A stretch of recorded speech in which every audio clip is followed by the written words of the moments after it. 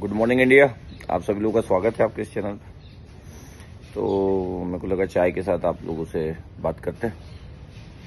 I hope आप भी अपना डे स्टार्ट करते होंगे।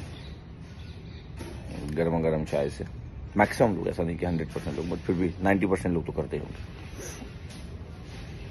और मेरे को लगता है कि हमेशा डे स्टार्ट करो एक फ्रेश एनर्जी के साथ, क्योंकि न्यू डे होता है, क्योंकि जब आप कल का जो लास्ट जो कल का जो दिन होता है, उस समय, जो भी प्रॉब्लम्स रही है, या सही तरीके से डे नहीं रहा है, या आपको लगता है कि आपके साथ चीज़ें ही गलत हो रही है?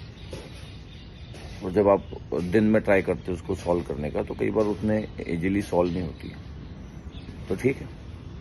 जब यकीन मानिए, बहुत बार ऐसा होता है कि जिस प्रॉब्लम को हम प्रॉब्लम सोचते हैं अगर आप उसको नेक्स्ट डे जब मॉर्निंग में उठने के बाद जब उस प्रॉब्लम को देखेंगे तो नहीं कि प्रॉब्लम सॉल्व हो जाएगी।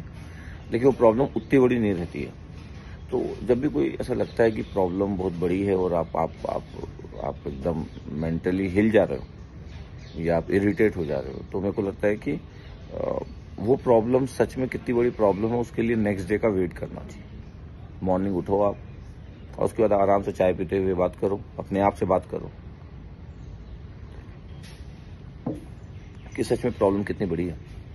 और मेरे को लगता है कि प्रॉब्लम सॉल्व तो नहीं होगी। सिर्फ़ सोने से और दूसरे दिन उठने से प्रॉब्लम सॉल्व नहीं होती, लेकिन एक बेटर जो अंडरस्टैंडिंग होता है, वो बेटर अंडरस्टैंडिंग ज़रूर आ जाता है। मतलब आपको सोचने का जो तरीका होता है, वो हो जाता है। या आपको जो लोग जितने खराब लगते हैं उतने खराब नहीं लगते तो मेरे को ऐसा लगता है कि ये चीज़ बड़ी इंपॉर्टेंट है कि आप बेटर वे में उसको हैंडल कर सकते हो। तो थोड़ा सा आप हमेशा टाइम लेंगे ना तो आपका नज़रिया भी चेंज होता है। मैं आपको बोल रहा हूँ लेकिन मैं भी बहुत फास्ट डिसीज़न लेता हूँ फास्ट एग्जीक्यूशन करता हूँ। और फिर उसके बाद एक, एक दिन दो दिन तीन दिन के बाद समझ आता है कि थोड़ा सा टाइम लेना चाहिए था। तो मैं भी मैं भी लर्न करते जाता हूँ और जो जो मैं लर्न करते जाता हूँ आपके साथ शेयर भी करते जाता हूँ। तो मेरा काम ही है कि मैं आप लोगों के साथ शेयर करते जाऊँ। तो मैं तो बोलूँगा कि हमेशा न्यू डे स्टार्ट करें फ्रेश मूड से स्टार्ट करें।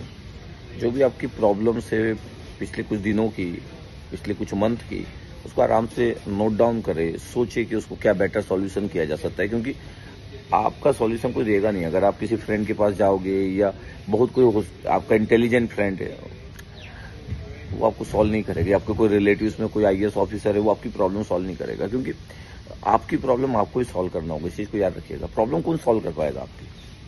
और और कोई अगर सजेशन देगा भी तो ज़्यादा सोच के नहीं देगा। मतलब ऐसे ही बिना किसी ज़्यादा दिमाग लगाए वो सजेशन दे देगा। ऐसा नहीं कि वो एनालिसिस करेगा आपकी। और उस प्रॉब्लम के जड़ तक जाएगा कि यार क्यों प्रॉब्लम्स हो रही है? क्या बेटर सॉल्यूशन हो सकता है? ऐसा नहीं। वो उसको कुछ बोलना है इसलिए बोल देगा। ठीक है? तो ऐसा नहीं कि लोगों से सजेशन नहीं लेना चाहिए, लेकिन मेरे को फिर भी लगता है कि अपनी प्रॉब्लम को अपने से पहले ट्राई करना चाहिए। जितना बेस्ट हो सके उतना ट्राई करना चाहिए। देन ठीक है। इतना तो करना ही चाहिए। तो क्योंकि ज़िंदगी में चैलेंजेस है। डे बाय डे चैलेंजेस है और जहाँ तक मैं समझता हूँ कि ऐसा कोई नहीं होगा जिसकी लाइफ में चैलेंजेस ना हो। और आज की डेट में क्या है कि सभी लोग सही है। सभी लोग सही है। जो दो लोग होते हैं, दोनों के बीच में जो ब्रेकअप होता है या लोग लोग अलग हो जाते हैं तो क्यों हो जाता है? क्योंकि दोनों सही अगर एक गलत होता तो सॉरी बोल देता। चीज़ बेटर हो जाती है, चीज़ें ठीक हो जाती है। लेकिन प्रॉब्लम ये है कि दो लोगों के बीच में जब दोनों सही होते, तभी ब्रेकअप होकर तो अभी सब लोग सही प्रॉब्लम यही है बस। कोई गलत ही नहीं है। क्योंकि सबका अपना ओपिनियन है और अपने ओपिनियन के अकॉर्डिंग कौन गलत होता है? आसान नहीं होता है। तो सबके पास स्ट्रांग रीजन कि मैं कितना सही हूँ। सबके पास स्ट्रांग रीजन है। सब मेंटली अपने आप को उस रीजन में डालते हैं।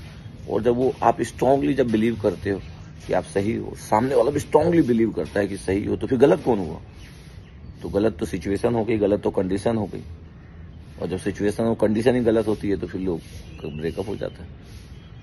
नहीं तो चीज़ें बस ऐसे ही है। बट ठीक है कभी कभी चीज़ें आपके कंट्रोल में नहीं होती और कुछ चीज़ें जो चीज़ें आपके कंट्रोल में ना हो एक सामने वाले का बिहेवियर आप डिसाइड नहीं कर सकते। आ, लोगों से आपका जो रिलेशनशिप है फ्रेंडशिप है वो आप डिसाइड नहीं कर सकते कितनी दिन चलेगी। उसका भी तो माइंडसेट भी इंपॉर्टेंट है जिसमें भी दो लोगों की नीड पड़ेगी तो उसका भी इम्पोर्टेंस तो उतना ही होगा। आप खुद अकेले तो डिसाइड नहीं कर सकते। तो इसलिए मेरे को लगता है कि ज़िंदगी को बहुत सही तरीके से जीने का ट्राई करते रहना चाहिए। बहुत जितना हो सके उतना है ना? और आप दिनों दिन जैसे जैसे आप आगे बढ़ते जाओगे तो आपको और और, और आपको समझ आएगा कि यार अंडरस्टैंडिंग जो ज़िंदगी की है वो डिफरेंट है। जैसा आप सोचते हो आज से पाँच साल बाद जब आप सोचोगे तो आपको लगेगा कि ज़िंदगी को जो आप सोचते हो जिस तरीके से जिस तरीके से आप लेते हो वैसे ज़िंदगी नहीं है। एक कॉम्पिटेटिव एग्ज़ाम का जो एस्पिरेंट होता है, उसके सोचने का नज़रिया अलग होता है। एक जॉब वाला जो व्यक्ति होता है, उसके सोचने का नज़रिया अलग होता है। एक वो जिसके दो बच्चे होते हैं, उसके सोचने का नज़रिया अलग होता है। एक कारपोरेट में जो काम करता है, उसके सोचने का नज़रिया अलग होता है। इंसान वो, इंसान तो वैसे ही है, लेकिन सबकी अलग अलग सिचुएशन है अलग अलग कंडीशन है अलग अलग परिस्थिति है। उसके अकॉर्डिंग लोग अपने डिसीज़न लेते हैं, उसके अकॉर्डिंग सोचते हैं। ठीक है? चलो तो मेरे को लगा कि आप लोगों से बात कर लेते तो आप भी ऐसे ही इंजॉय करते रहिए और डे की शुरुआत एकदम फ्रेश माइंड से कीजिए ठीक है? चल ओके थैंक यू